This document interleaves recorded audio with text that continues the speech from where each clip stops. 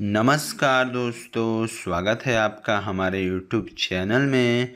दोस्तों, अभी हम लोग देखने जा रहे हैं बीएसएफ सीमा सुरक्षा बल का जो ऑनलाइन फॉर्म आया है एएसआई और कांस्टेबल पदों के लिए उस फॉर्म को हमें कैसे भरना है? दोस्तों, इस वीडियो के माध्यम से हम आपको पूरी जानकारी देंगे स्टेप बाय स्टेप, ताकि इस फॉर्म को आपको भरने में कोई परेशानी ना हो। तो दोस्तों, वीडियो को शुरू करने से पहले मैं अपने नए दोस्तों से कहना चाहूँगा, जो लोग इस चैनल पर नए आए हैं, वो इस चैनल को सब्सक्राइब कर दीजिए, वीडियो को लाइक और शेयर कर दीजिए, ताकि लेटेस्ट अपडेट आपको मिलता रहे। तो दोस्तों, डिस्क्रिप्शन में मैंने लिंक दे दिया है, वहाँ पे आप लोग क्लिक कीजिएगा तो आप लोग रिडायरेक्ट हो जाइएगा इस साइट पे। यहाँ पे आप लोग देख सकते हैं, लिखा हुआ है बीएसएफ सीमा सुरक्षा बल, और यहाँ पे आप देख सकते हैं फॉर्म को जो भरना है, उसको जो है कैसे कैसे स्टेप में भरना है, वो आपको जानकारी बाएँ साइड में दिया हुआ है। यहाँ पे आप लोग देख सकते हैं, लिखा हुआ है पर्सनल इन्फॉर्मेशन पर्सनल इन्फॉर्मेशन में यहाँ देख सकते हैं, लिखा हुआ है प्रत्याशी का नाम कैंडिडेट्स नेम यहाँ पे आपको अपना नाम को लिख लेना है। यहाँ पे आपको अपना नाम लिखने के बाद, उसके बाद आपको अपना मोबाइल नंबर लिख लेना है। मोबाइल नंबर लिखने के बाद आपको अपना ईमेल आईडी को लिख लेना है। तो दोस्तों, अपना नाम, आपका मोबाइल नंबर और आपका ईमेल आईडी लिखने के बाद नीचे दिया हुआ है जनरेट ओटीपी वहाँ पे आपको कर लेना है क्लिक जनरेट ओटीपी पे क्लिक करके आपको अपना ओटीपी लिख के सबमिट कर देना है। उसके बाद दोस्तों, आपको क्या करना है? आइडेंटिटी डिटेल को भरना है। तो दोस्तों, यहाँ पे आपसे पूछ रहा है आइडेंटिटी टाइप यहाँ पे आप आइडेंटिटी टाइप में आप लोग जो भी आइडेंटिटी देना चाहते हैं, उसको यहाँ पे सेलेक्ट कर लीजिए और उसका जो सर्टिफिकेट नंबर है, उसको यहाँ पे आपको लिखना है। उसको लिखने के बाद दोस्तों दिया हुआ है एडिशनल इन्फॉर्मेशन एडिशनल इन्फॉर्मेशन में देख सकते हैं दोस्तों, यहाँ पे आपको लिखना है date of birth date of birth लिखने के बाद आपको लिखना है एज और एज लिखने के बाद आपको लिखना है नेशनलिटी नेशनलिटी लिखने के बाद दोस्तों नीचे दिया हुआ है फादर नेम फादर नेम में आपको अपना पिताजी का नाम लिख लेना है। पिताजी का नाम लिखने के बाद दिया हुआ है मदर्स नेम। मदर्स नेम में आपको अपना माता जी का नाम लिख लेना है। उसके बाद दोस्तों पूछ रहा है permanent identification mark on body, शरीर पर स्थायी पहचान चिन्ह, उसको आपको यहाँ पे लिख लेना है। उसके बाद दोस्तों आपसे पूछ रहा है जेंडर। जेंडर में आप लोग अपने अनुसार चयन कर लीजिए। उसके बाद दोस्तों आपसे पूछ रहा है मैरिटल स्टेटस, विवाहित स्थिति। अगर आप विवाहित हैं तो विवाहित चयन कर लीजिए।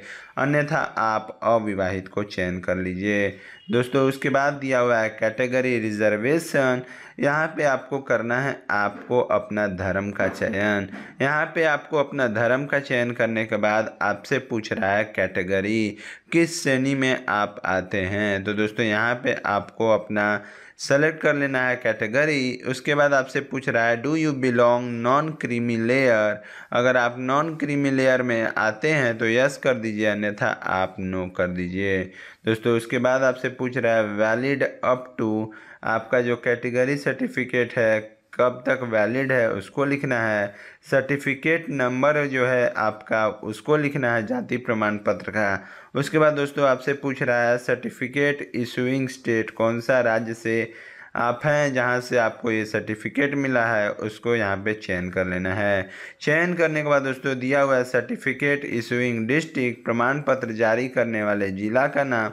यहाँ पे आपको उस ज़िला का नाम को चयन कर लेना है। ज़िला का नाम चयन करने के बाद दोस्तों, यहाँ पे दिया हुआ है सर्टिफिकेट इशूइंग अथॉरिटी किस प्रमाण पत्र को किसके द्वारा जारी किया गया है, उसको यहाँ पे चयन कर लेना है। दोस्तों, उसके बाद आपसे पूछ रहा है सर्टिफिकेट इशूइंग डेट कब ये सर्टिफिकेट आपको इशू हुआ था? उसके बाद दोस्तों, नीचे आइएगा, नीचे दिया हुआ है, सब कैटेगरी रिजर्वेशन यहाँ पे आपको लिखा हुआ है, क्या आप कोई विकलांगता हैं? अगर आप पीएच कैंडिडेट हैं तो यस करके अपना सारा जानकारी को दे दीजिए, अन्यथा आप नो कर दीजिए। दोस्तों, आपसे पूछ रहा है क्या आप भूतपूर्व सैनिक हैं? अगर आप हैं तो यहाँ पे टिक कर, यस कर दीजिए, अन्यथा आप नो कर दीजिए। दोस्तों, उसके बाद आपसे पूछ रहा है विभागीय, अगर आप ये देंगे तो ये आपको जानकारी देना होगा। और उसके बाद नीचे देख सकते हैं, दोस्तों, दिया हुआ है सेव एंड नेक्स्ट का बटन। दोस्तों, सेव एंड नेक्स्ट के बटन पे हमें कर लेना है क्लिक। वहाँ पे जैसे ही क्लिक कीजिएगा, आ जाएगा एड्रेस डिटेल। एड्रेस डिटेल में आपको अपना परमानेंट एड्रेस में स्थायी पता को लिख लेना है। उसके बाद दोस्तों, दिया हुआ है पिन कोड। पिन कोड में आपको अपना पिन कोड को लिख लेना है। उसके बाद दोस्तों, दिया हुआ है राज्य केंद्रीय शासित प्रदेश। आपको यहाँ पे चयन कर लेना है। उसके बाद दोस्तों दिया हुआ है ज़िला ज़िला को आपको अपना ज़िला को चयन कर लेना है। उसके बाद दोस्तों दिया हुआ है विलेज, गाँव या शहर, आपको यहाँ पे अपना गाँव का या शहर का नाम लिख लेना है। उसके बाद दोस्तों दिया हुआ है पुलिस स्टेशन पुलिस स्टेशन में आपको अपना थाना को लिख लेना है। लिखने के बाद दोस्तों नीचे आइएगा, नीचे दिया हुआ है करस्पॉन्डेंस एड्रेस करस्पॉन्डेंस एड्रेस में लिखा हुआ है कि सेम एज परमानेंट एड्रेस यहाँ पे आपको कर देना है टिक। यहाँ पे टिक कीजिएगा तो जो आपका एड्रेस, परमानेंट एड्रेस में वही सेम टू सेम यहाँ भरा जाएगा। अन्यथा आपको एक एक करके फिर से वैसे ही भरना है। भरने के बाद दोस्तों नीचे आइएगा, नीचे दिया हुआ है सेव एंड नेक्स्ट का बटन। सेव एंड नेक्स्ट के बटन पे आपको क्लिक कर देना है। सेव एंड नेक्स्ट के बटन पे आप क्लिक कीजिएगा, यहाँ पे आ जाएगा आपके सामने अदर डिटेल इसमें आपसे पूछ रहा है, क्या आपके पास एनसीसी प्रमाण पत्र है। अगर आपके पास एनसीसी प्रमाण पत्र है तो आप यस कर दीजिए, अन्यथा आप नो कर दीजिए।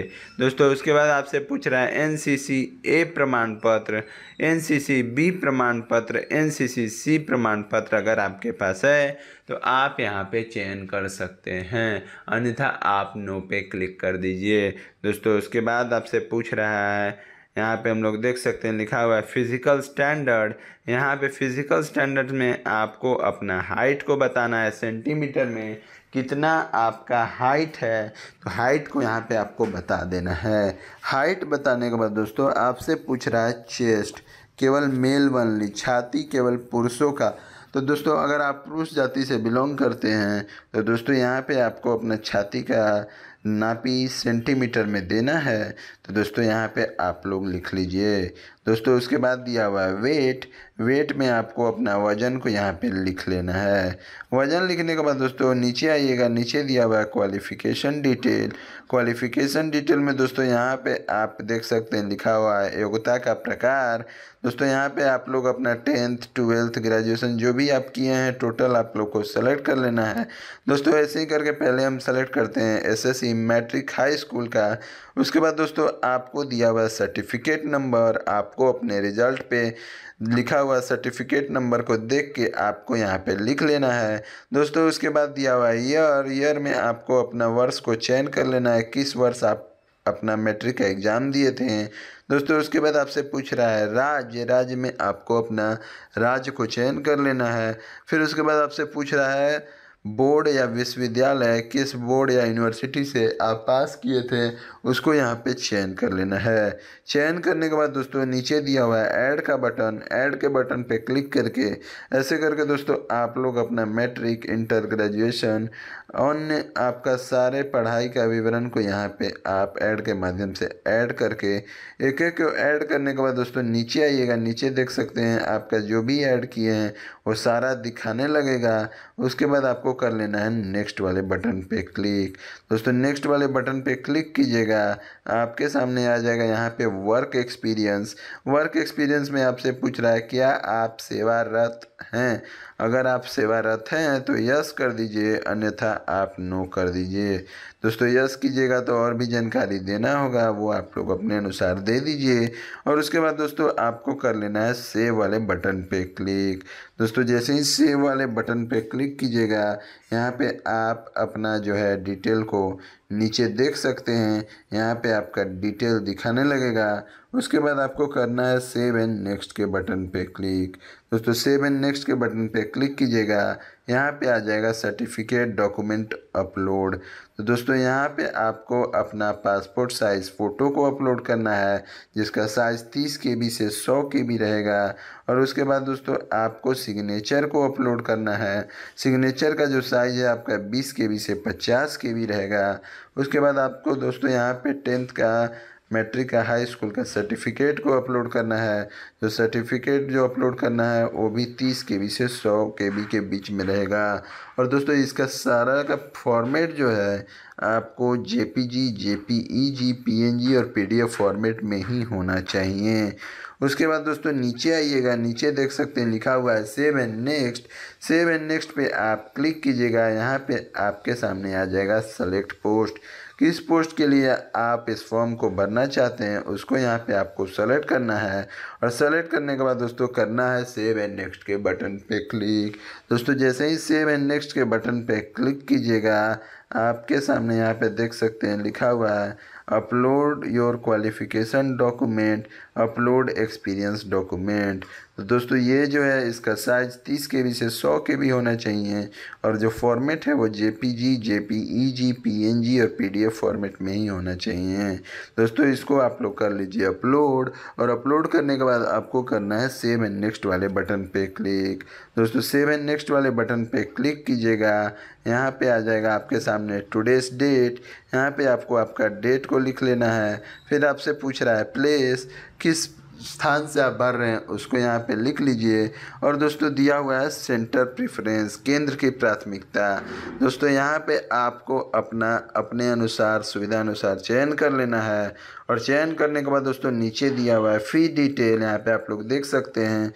उसके बाद दोस्तों, दिया हुआ है पेमेंट गेटवे आपको यहाँ पे सेलेक्ट कर लेना है। सेलेक्ट करने के बाद पेमेंट मोड पेमेंट मोड को आप लोग को सेलेक्ट कर लेना है अपने अनुसार।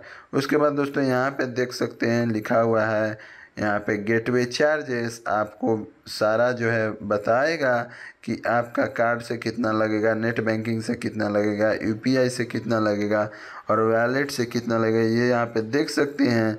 उसके बाद आपको कर लेना है I hereby declare that information furnish in my profile is true to the best of my knowledge यहाँ पे आपको कर लेना है टिक और टिक करने के बाद दोस्तों नीचे दिया हुआ है पे नाउ का बटन। तो दोस्तों पे नाउ के बटन पे आप लोग क्लिक कीजिएगा। यहाँ पे आप लोग देख सकते हैं लिखा हुआ है आपका कार्ड नंबर आपका एक्सपायरी डेट कार्ड होल्डर का नाम और सीवीवी ये सारा जानकारी को आपको भर के और नीचे रिमेंबर कार्ड को आप लोग टिक कर सकते हैं आप करना है तो। अन्यथा आप इसे खाली छोड़ दीजिए और पे वाले बटन पे आप लोग क्लिक कीजिए।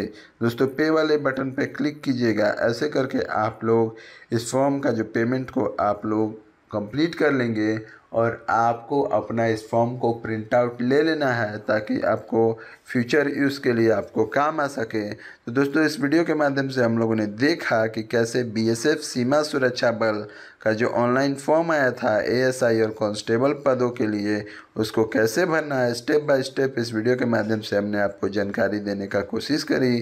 तो दोस्तों डिस्क्रिप्शन में लिंक दिया हुआ है, वहाँ से आप लोग क्लिक करके आप लोग इस फॉर्म को अप्लाई कर सकते हैं। तो दोस्तों, अगर ये वीडियो आप लोग को अच्छा लगा हो तो इसे लाइक कर दीजिएगा। हर एक दोस्तों के साथ शेयर कर दीजिएगा। अगर आपको कोई डाउट हो तो दोस्तों आप कमेंट या मेल के माध्यम से हमसे संपर्क कर सकते हैं। और अगर आप इस चैनल पर नए हैं और चैनल को अभी तक सब्सक्राइब नहीं किया है तो चैनल को सब्सक्राइब और शेयर करना ना भूलिएगा। धन्यवाद।